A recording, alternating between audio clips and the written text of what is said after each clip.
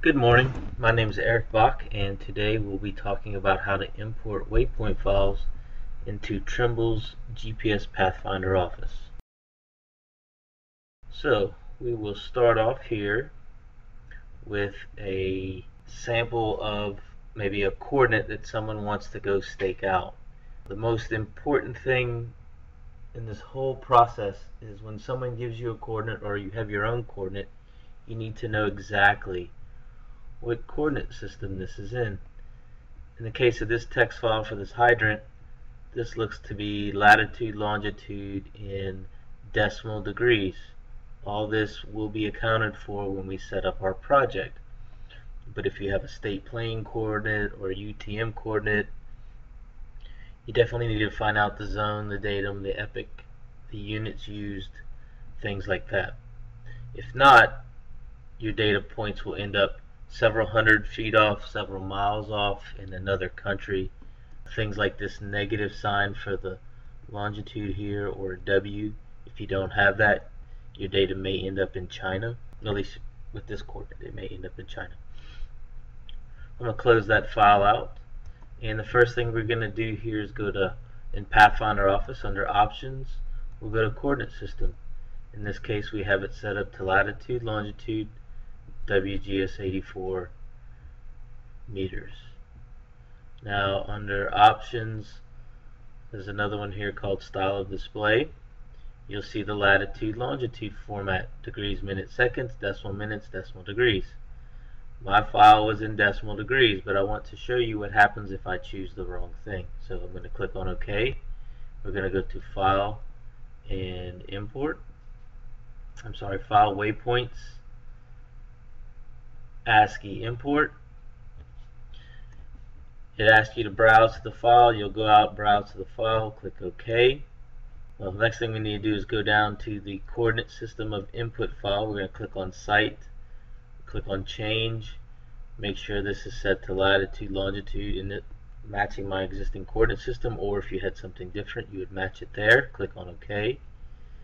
Input file format. This is where we're going to start next under the settings. Let's click on the help button so we can see what this means here.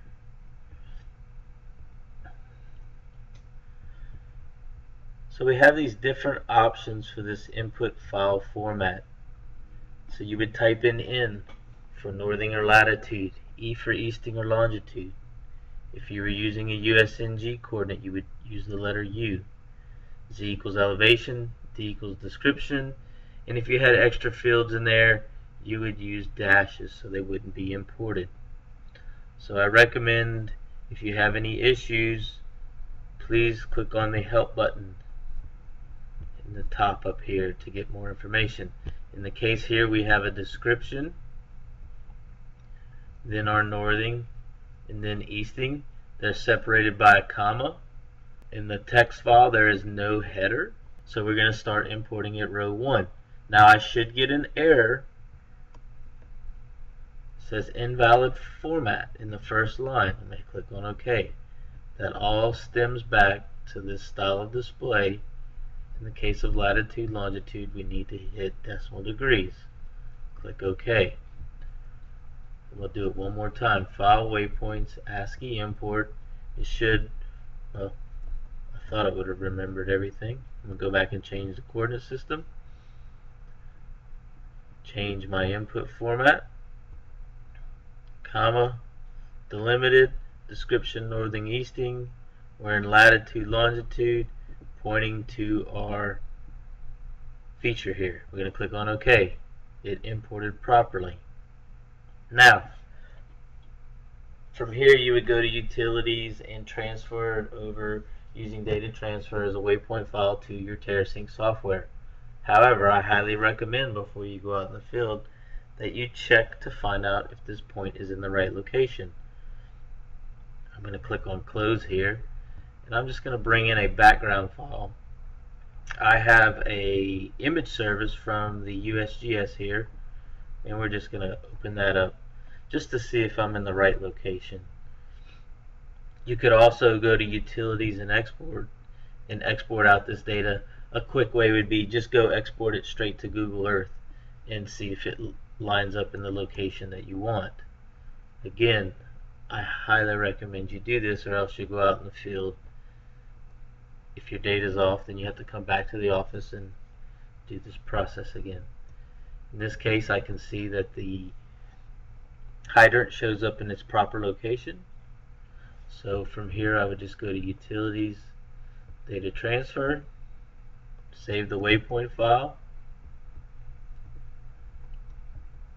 I would connect to my device. In this case, I don't have a GPS connected, so let's just set up TerraSync like this.